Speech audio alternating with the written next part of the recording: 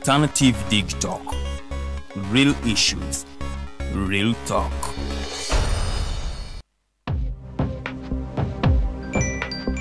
But at church, though, Tawali man, what's up? man, can you imagine people just dump everywhere? Someone drinks water and throws the bottle wherever. Come on, Rogers. What else do you expect people to do with an empty bottle? Simanya now recorder.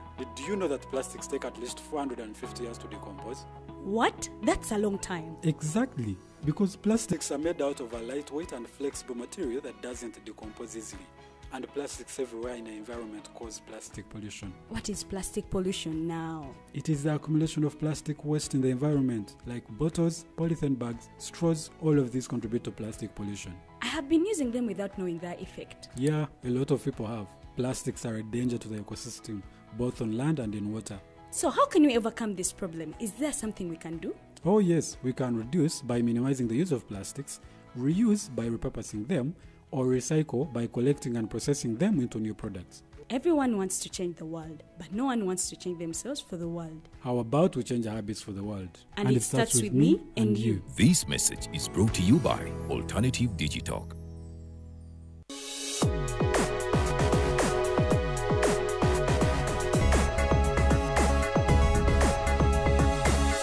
The Alternative Dig Talk.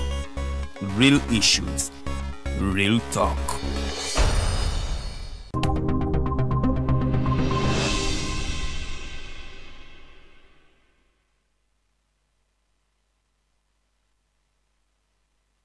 Ladies and gentlemen, a very, very good evening and a warm welcome to this edition of the Hotline Show.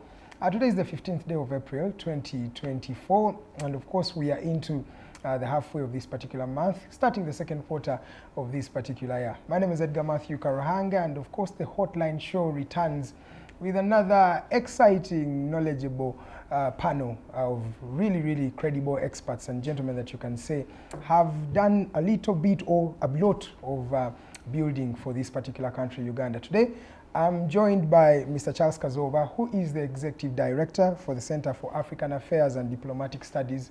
Uh, he's already here with me, and I have uh, Major Pollar Awich. Uh, you already know him. He's the usual suspect here. He's always uh, right here with us. He is the, the Director for External Affairs at the National Resistance Movement, that is NRM, the ruling uh, government as we speak today.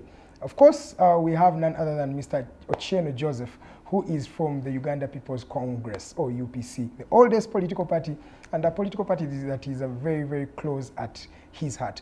Uh, today, we're going to be mainly looking at what they call the extravagance of this particular government. The question first, is it actually extravagant in nature? Is it the people who are perceiving it as extravagant, or the actual reality is it's extravagant? And if so, what are some of the working solutions? What can we do as Ugandans uh, to address this particular uh, challenge? Now, the extravagance is also coupled with the problem of the economy that we have today. Uh, today, as we speak, the taxes are too many, and uh, of course, the prices of commodities and the price fluctuations in the market is also increasing by the day. And Ugandans are asking themselves, how can they su- survive in such a dispensation and in such a time like this one? So, this is not just a political discussion. We're trying to look for solutions that we think will create something different, or an Africa that is different, starting from Uganda here. As I told you, my name is Edgar Matthew Karahanga. Please do send in some of your messages, uh, some of your comments. I'll be reading them subsequently as we continue with uh, the program. I can already see a couple of you who are already right here with us. Please send in those messages and I'll be reading them. As we start with the show, allow me welcome our guest for the day. The two gentlemen have been here, but I want the guest to first introduce himself. Say hi to our viewers, uh, Mr. Kaso Gazova Charles. You're welcome to the Hotline Show. Thank you so much, uh, Mr. Karahanga. Uh, I join um, uh, these two prominent gentlemen. I've shared with him a platform once, Okay. uh, but not uh, with the major, uh, which from the ruling party, the mighty NRM, of course, uh, for debate. Uh, I, my focus or my specialty is on uh, African issues, African uh, relations, how Africans relate with each other, and how they relate with the rest of the world. So that's my my my specialty. Just a quick one. How does your organization really affect a Ugandan who's out there watching you? Because they may be asking themselves, what does the Center for African Affairs and Diplomatic Studies do? What exactly, how do you work with these Ugandans? Or how does your organization relate with the Ugandan out there? Let me give you one simple example.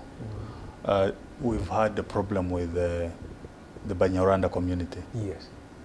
Uh, the uh, major which is uh, side does not recognize some of them as citizens, even though they are born here. But we also know that uh, because of those issues, we have a very bad conflict in Eastern DRC. Yes. So to avoid uh, such conflict, our organization is uh, doing some work with, uh, of course, other stakeholders to find a lasting solution for such people. Yeah. Okay, uh, thank you so much, sir, Mr. Kazooba. Uh, let me come to you, uh, Mr. Uh, Pollar Awich, Major Pollar Awich. Do you want to just say hi to the people? It's been a while since you were here on the Hotline Show. How are you doing, sir? Oh, I'm doing well. Um, since a while since we have not been here, and I miss the viewers so much because we had already built a relationship. I've met some on the street who say they like to follow the program, which is good, find it educative, and uh, sharing information and knowledge. Um, my specialty, as already my viewers know, I am an advocate of the High Court. I'm a practicing lawyer with a practicing certificate. Although you may not see me so often in courts, and that is for other engagement. Uh, I'm the Director External Affairs of the party, and I ensure that uh, matters that affect the parties outside Uganda uh, is done well. Uh, maybe I will talk later at some stage. I will leave it for now, where I instituted that the, my people that which don't think uh, uh, Banyarwanda are, are Ugandans. You want me to clear it now? Please do. You see, uh, I could know it better than you. I, I bet that uh, the third schedule in the Ugandan constitution says list down indigenous communities as by uh, first of uh, Feb 1926. Six. Yeah. Okay? Now, if you look at the indigenous communities, they are arranged alphabetically. Banyarwanda is, I think, number 14. So, how dare me, a lawyer, not know Ugandans are national? I mean, this Banyarwanda are nationals when they are listed in the schedule of the constitution. Mm. During the constitu- CA debate, people started to put names to their communities. Bafumbira said because of the mountain, they'll be called Bafumbira, much as they are Banyarwanda in ethnicity. The Rwandese in Ntungamo, the Ruzindana Gad Gasatura group, argued that for us we are Banyarwanda, we are not Banyankole, and we have no geographical entity for identification. Therefore, they convinced CA to list themselves as Banyarwanda, and they're in the constitution. So we have Banyarwanda as listed in the third schedule of our constitution. The, the question Yes. then would be the Banyarwanda are listed in the constitution of Uganda as part of Ugandan people, but the practice that is um, often uh, mandated on them is not really that that you may say is equal to other Ugandans. For example, many of these uh, Banyarwanda people have not been given passports and it's been on record because of that Banyarwanda question. So how do you address the practicality of them being Ugandans rather than the idea of them being in the constitution? It's okay, but I first wanted my friend to know that me, as I which I know Ugandans, I know Banyarwanda as Ugandan. Yes, that was the first thing. Mm. So I didn't want any doubt to be put on me, a lawyer, a Ugandan, not to know part of the indigenous. For example, it would be like me not knowing Kumam, who are part of Ugandans. Mm. How do I expect a Ugandan like a witch not to know Kumam that they're Ugandan? In other words, I know all Ugandan communities as listed in the constitution, in the third schedule, mm. and Banyarwanda one of them.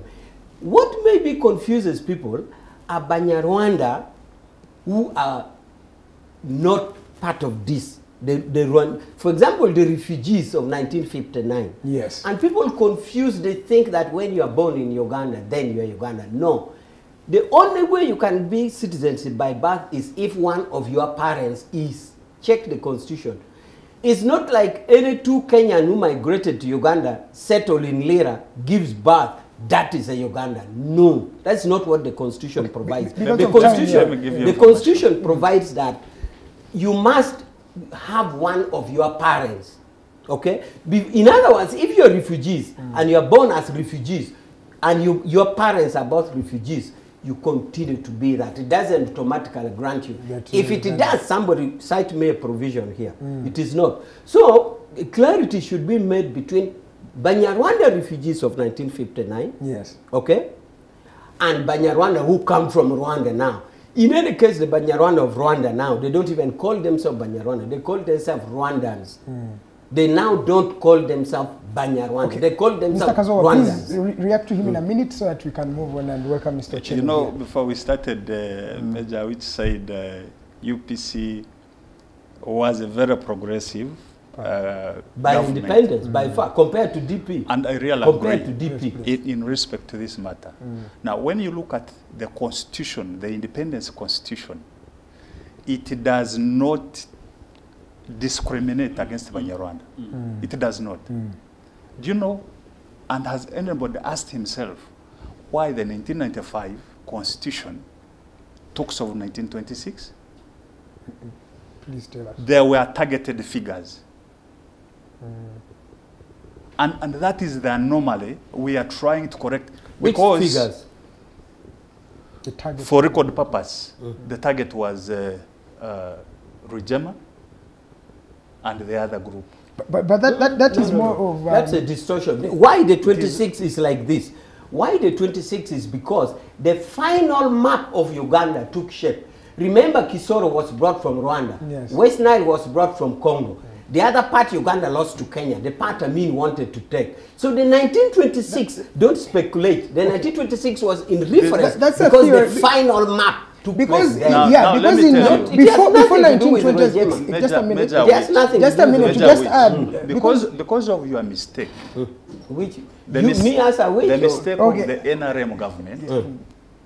the population, the, Banyarwanda, the Banyarwanda community in the rest of the country, with the exception of Ntungamo and Chisoro, mm.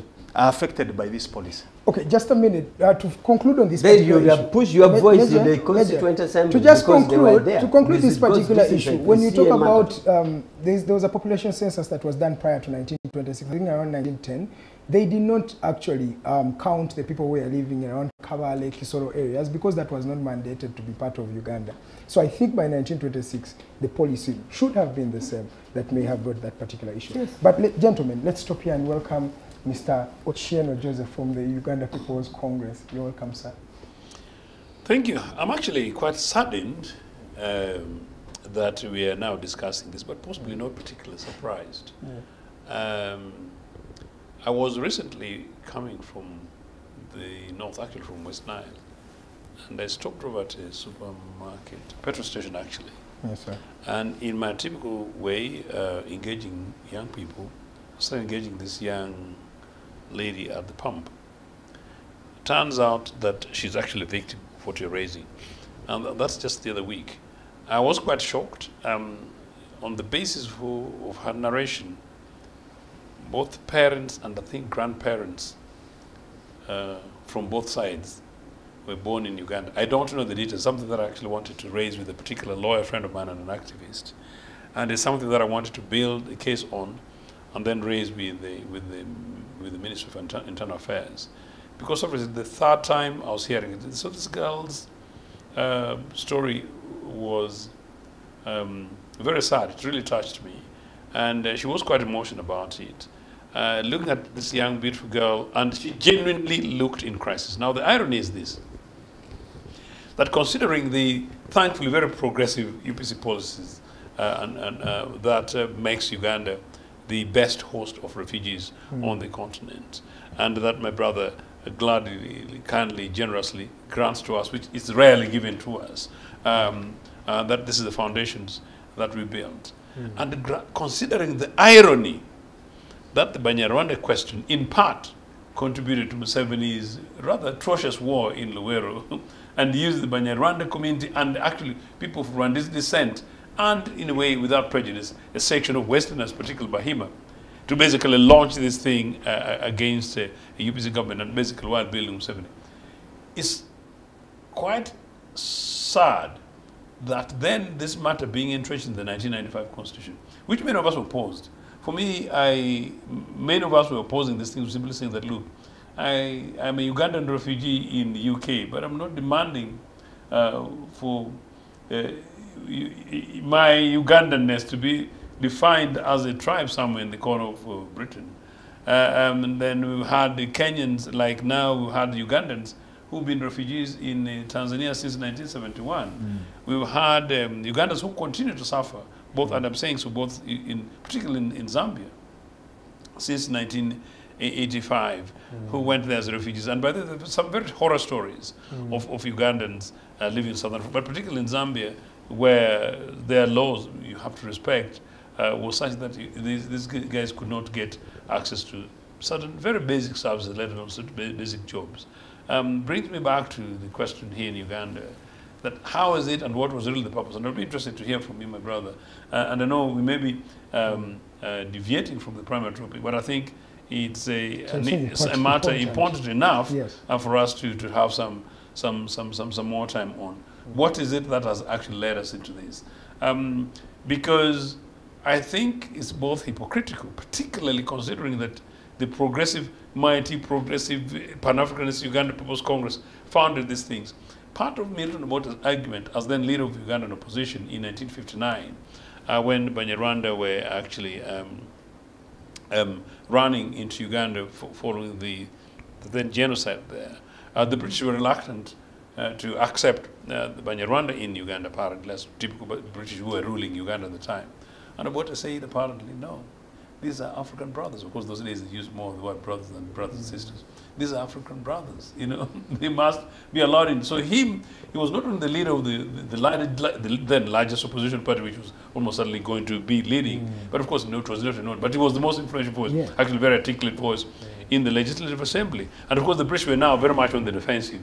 And uh, beginning to talk African nationalism and say, these are African brothers and you're stopping them. Maybe it's the more reason why we should chase you out of Uganda Just very quickly. clarity, you're Yeah. talking about the 1959 revolution. Precisely. You said genocide, so maybe someone may think it's 94, but you're referring to the. great 1959, exodus of e- well, but you know, there, was, there was genocide, you know, and the, the lawyer he will correct me on that. subject But we can call it, well, you know, we can call it 1959 revolution, and you quite right, I think, in a way. But um, so, um, we guaranteed the arrival of the Banyarwanda refugees in Uganda, the settlement of the Banyarwanda refugees in Uganda, and the guaranteeing of the total universality of the basic rights. Some of the rights that um, you can only enjoy in many of the few developed countries, some of which uh, uh, uh, uh, you can't really find anywhere else in Africa. The Banyarwanda did that. Now, one of the reasons why sometimes I actually felt quite resentment, I will say it here today, uh, about a section of Banyarwanda. I've told some of my Banyarwanda colleagues hmm. in this that, look, you know, we did all these other things for you. You know, then come 1980, you know, and then you turn against us. And then you go ahead and even go ahead and say, oh, you're, reti- you're beating us and returning to Rwanda because we chased you because of hostility. But now it's interesting, ironic, it's a bit of a long story. the Banyarwanda now can go ahead and say, we told you, we ran away from Uganda because they're mistreating us, you know, which is a different thing. But But please, in just yeah, a minute as we yeah, conclude, sorry. why do you think it's now so prevalent at a time such as this one? I actually don't know. I don't know whether you know it's about, and I've, and I've asked this. This is an important conversation, and I was interested in having this, and I'm still interested in having it with some of my lawyer colleagues, some of my Banyarwanda friends, in, in you know who, who are actively engaged, and possibly activists like my brother here. Is it because of the Museveni Kagame personal relationship thing? Is it because of uh, part of it still paying the price was part of the Kisangani thing in Congo where things went right? Is it therefore it's about Museveni and Kagame, it's about this power thing? But is it also about the suspicion uh, uh, that has been on the national uh, uh, tables uh, that um, Museveni supports um, uh, Rwandese uh, opponents of Kagame, they use the word dissent, and vice versa? Is it out of that mutual trust, distrust? When I asked very quickly, I was shocked by how robust uh, Comrade Witch apparently, you know, you, you know, you, it might interest you that apparently they, they really accuse the people at immigration, you know, Yeah. of being very, very harsh. Yes. And now the, the identity prejudice, that's why this is an important topic, if you go out there, the perception is that at immigration are predominantly NRM leaning, supporting public servants, some of whom are almost certainly almost towards uh, without particular identities. That the broader Ugandan might think that no, these might be people who might be sympathetic to Banyarwanda. You see, Okay. Allow me, just, I- Mr. sorry, Pollar Awich, sorry. I want to just respond to this. Uh, I want him to submit as well so that you can Yeah. respond at once. Uh, Mr. Kazooba, I, I want to start from the question I've asked this gentleman. Why is it that the, Ba- the Banyarwanda question has been so prevalent in the recent times? It's not something that you used to see in the past often mentioned, but right now, the Banyarwanda question needs to be as answered as m- soon as it can. Why? Why at such a time? We, we used never to have national identity cards to access uh, services. yes, okay. Uh, today, you need an ID to even go to hospital, even to university, even to nursery. You need uh, national ID. Uh, you need, uh, if you need a job, like in Saudi Arabia, Dubai, you need a passport, but it has to ha- correspond to, with the details With on the the national national ID, ID. yes. Now, these people who are Ugandans can't have the things. Those who have had them have been confiscated from them. Oh, seriously? So thousands, their national IDs have been confiscated from them. Their passports have been confiscated from them. Now, you have a section of Ugandans who have become stateless because of an erroneous government policy. They are not Rwandans from that side, and here we are saying they are not Ugandans. Yeah. So, where are they? And this is the trouble we have. You, you keep marginalizing a particular community, you create a huge problem for yourself. He has said that uh, those that came in after 1926 were largely refugees. But I, I thought that's what, okay, I'm sorry if that's what I, I understood. But we should also understand that there are so many, Banyarwanda started coming to Uganda way, way, way before That's 1900. Yes, that's true. So even before the formation of the country called Uganda, the mm-hmm. state called Uganda, Yeah. Banyarwanda were already part of Uganda. Mm-hmm. So they deserve to be citizens. Mm. Now, the day you begin discriminating against them, you create trouble. The only two communities, the Banyarwanda that are legally recognized mm. by the 1995 constitution, are that group in Ntungamo and the one of Chisoro. Mm. Chisoro, of course, because of the border. You understand? Now you have Banyarwanda, a huge chunk of Banyarwanda mm. who are in eastern Uganda, central Uganda, some even in uh, districts of western Uganda, Yes. and northern Uganda that cannot be recognized as Ugandan citizens. They are recognized as Ugandan citizens. That's the thing. It's just maybe the people who are in those offices that are trying to play No. politics. By the way, we've The interacted with the people at the migration immigration uh, uh, department. They are following the law to the letter, as it is stated. That's that's what they are implementing. Oh. In fact, their suggestion is go back to Parliament, amend the constitution, so that these people can be recognized as citizens. If not, the, and, and you, you largely you can't blame the So then are you talking about constitutional anomaly rather than... Yeah, it is a constitutional So maybe anomaly. it's unfair to suggest, without, sorry, to suggest that the NRM guys are doing it, when in effect, the NRM obviously bungled it in their own constitution, because their constitution, by doing it. And so therefore part of the campaign should be that, well, eh, like UPC, we told you so, there's an NRM crooked constitution. We should go back basically... uh, You, you, raise a very, a very pertinent issue. It is political. It's the politics between the two countries. Okay, Okay. Let, us bring in Major Now, Awich. uh, I get you. Uh, first of all, let's be clear about border effect. For your information, or for the viewers, the only indigenous communities or big indigenous communities that does not spill outside Uganda border is only one. Which one? Unfortunately, it is mine, the Langis. He's boasting. it is the Langis. There are chulis, yeah, there are chulis, there are bigger chulis in Sudan Yes, than yes, Uganda. That's true. Karamojong go to Kenya. Yeah. Teso the king more and more has territory up to Kenya. Agri Awori, the brother was a vice president there, Awori was here. Banyankola in Karagwe, Bachiga in, Kitang, in, in Rwanda, um, i- i- whatever, Bafumbira there. Kasese people are in uh, mm, Congo. Even uh, uh, uh, Kanungu people, others are in Congo. Everywhere. Baganda in Tanzania. Mm. The only community that does not spill out is the mm. Langis. Okay. And that is why it shapes a bit of our traits. We tend to argue, we tend to solve it here. Taking a gun is, uh, unless you're in Tanzania like Oyito joke, but within here you're very careful because you have nowhere as a fallback. From this, therefore, from this, therefore, it is just prudent that it is easy to notice, like there are Chulis in Sudan, mm. there are Banyarwanda who were cut by border. Just like the angry worry the brother was cut that side, cut this. So this Banyarwanda are cut in Tungam, they are cut in, uh, Kisoro. And that is where the Ruzindana knows no any other boundary in Rwanda, maybe great great grandfather or something. But Ruzindana is a Uganda. So that is what we are talking about. So these people chose to be called Banyarwanda, but in Uganda. Yes. The other tribe, thing that I want to comment about briefly is internal affairs. You know, in internal affairs, the way they arranged it in that is that uh, every community has a desk, like Lango. Yeah. If you fill the passport and they said you are a Langi, there is a desk officer who are trained hmm. to interrogate you. Yes. Who is your grandfather? Hmm. Which village is he in? Hmm. So the, the victims who are Banyarwanda who are now there are people who cannot, by the desk officer, be traced as to their originality. Ancestry. yeah. You will also agree with me. I have met some who are my friends. There are many Banyarwanda friends who come, and when you ask them, they identify as Banyoro. Then the other person who are asking said, okay, maybe go to the Banyoro desk. And the Banyoro desk wouldn't identify such a person.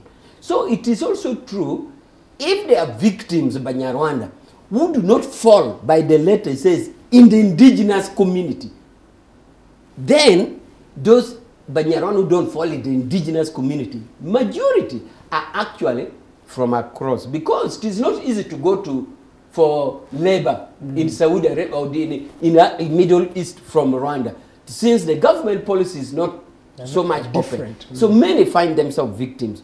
So any Mnyarwanda who is going to a Mnyarwanda desk in the Ministry of Foreign Affairs should identify, like they said in Langis, if you say you are an Acholi, there's an Acholi desk, he will ask you which clan, which village, who is your grandfather.